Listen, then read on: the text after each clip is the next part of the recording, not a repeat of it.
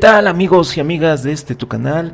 Estamos aquí haciendo un video bastante rápido y es que pues me acabo de enterar de esto de la noticia de Huawei y el bloqueo que tiene con Google y con varias empresas incluyendo la empresa que estandariza las micro SD que también ya le bloqueó también incluso pues varias empresas americanas pero ahora esto está dando un giro inesperado debido a que el presidente de los Estados Unidos, Donald Trump, ha comentado, y de hecho es de una fuente periodística, de que hay negociaciones para que Huawei entre en un tratado en el cual pueda volver a hacer negocios comerciales con estas empresas americanas y todo vuelva a ser como antes.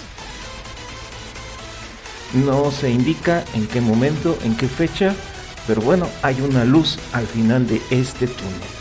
Así que pues esperemos qué pasa con esto de la problemática entre Huawei y todas las empresas americanas, incluyendo Google, incluyendo el fabricante Qualcomm, entre otros.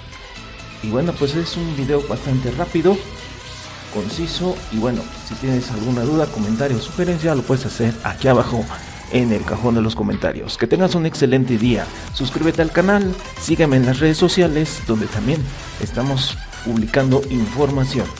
Cuídate, nos vemos en un próximo video. Hasta la próxima. Bye.